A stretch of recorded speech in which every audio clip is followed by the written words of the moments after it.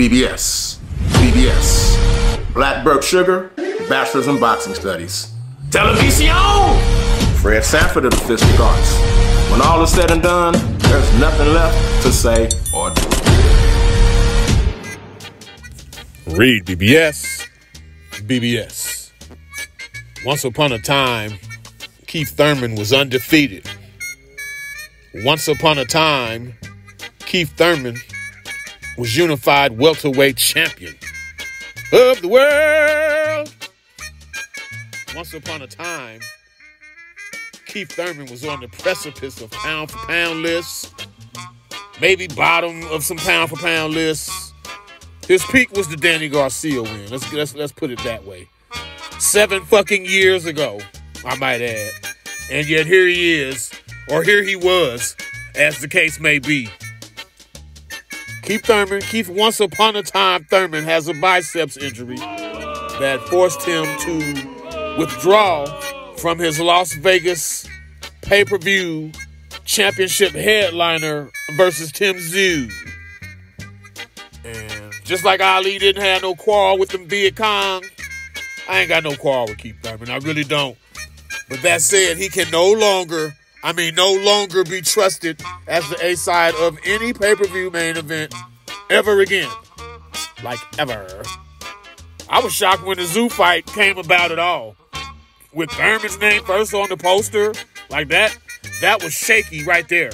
And now this. I was pleasantly surprised by the notion of Thurman versus Tszyu.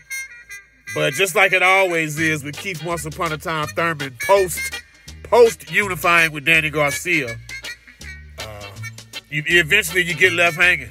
You get left hanging by uh, Keith Once Upon a Time Thurman. That's just how he rolls these days. Tim Tszyu, his comment was, I'm used to the word pullout. Thurman, Charlo, Zerafa, Lubin, and as always, the show goes on. See you all March 30. You gotta love his response, man. You have to love that. So in steps the towering inferno, Sebastian Fundora, 20 wins, one loss, one draw, 13 KOs. Of course, he was famously and comically KO'd by Brian Mendoza, where after getting dropped by a big hook, he's sitting there on the ground on the canvas, looking up at the ref with a grin on his face, having some drunken conversation with him.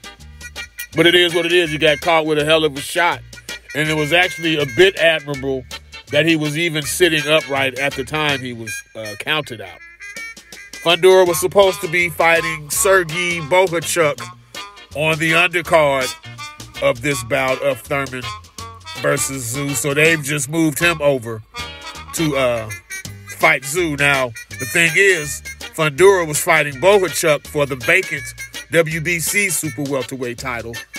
Now he's fighting for Tim Tszyu's WBO super welterweight title. And uh, not that anyone gives a fuck, but this will probably go down as a unification bout, WBO and WBC, even though their sanctioning bodies would uh, prefer their belts be splintered. Let's just put that out there. Thurman, uh, yeah, you know, they were talking it up. Him and Tszyu had a funny, their press conference was okay. Then they had a real funny uh, video cast on Sean Porter's uh, podcast. They was making each other laugh and shit, going back and forth with some good natured shit talk. They actually got along more than they wanted us to believe. But at one point, Thurman said he was hungry, and Tszyu latched onto that like a piece of meat saying hungry. You've been on a five year paid vacation. What you mean hungry? Even Porter laughed at that. So it's fitting, it's fitting that Tszyu said that to Porter, uh, to Thurman's face practically, not even a month ago, and now we're here. To me, Thurman versus Tszyu, it reeked of a cash out for Keith Thurman all along. It just did. And uh, I mean, my man can't even remain healthy enough to make it two to make it two the cash out. On that note, all eyes on you, Ride Guy, Ryan Garcia. In that same regard, I feel like you're just trying to cash out, but will you make it to the cash out? I don't know. So here you go, Tszyu. uh, 12 days notice. That 35 year old inactive motherfucker that was moving up in weight that you thought you were going to fight March 30th. Yeah, scratch that. Scratch that. Instead, you're fighting a 6'5, 6'6 motherfucker, 8 inches taller than Thurman, 11 inch, 11 inch reach advantage over Thurman. Volume punching southpaw motherfucker. You're fighting that guy instead on 12 days notice. All bullshit aside, just as I had Tszyu beating Thurman, I feel likewise about Tszyu Fundora. He'll just have to approach it altogether differently. That's the rub. But it does it says a lot about Tszyu that he's even accepting this. Men with lesser belief in themselves would have been like, shit, fuck that. Uh-uh, I'm out.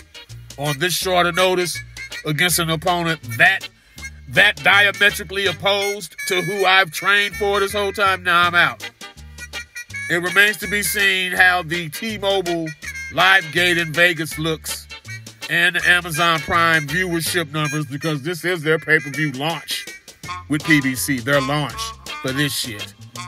But on some, the show must go on by uh, Viva Tim Tszyu, for real, Viva Tim Tszyu. Dennis Hogan, Terrell Gausha, Tony Harrison, Brian Mendoza. The way, the way that Tim Tszyu disposed of Ocampo, fight by fight, he's stepping further and further from his father's shadow. He really is. And whooping Thurman's ass, it would have propelled Tszyu even further. But last minute in the 11th hour, Sebastian Fundora, he'll do. And he'll make for a competitive, entertaining scrap, a fun scrap, in the process of getting stopped. Reed BBS, BBS. Blackbird Sugar, Bachelor's in Boxing Studies. Television! Fred Sanford of the Fistic Arts. When all is said and done, there's nothing left to say or do.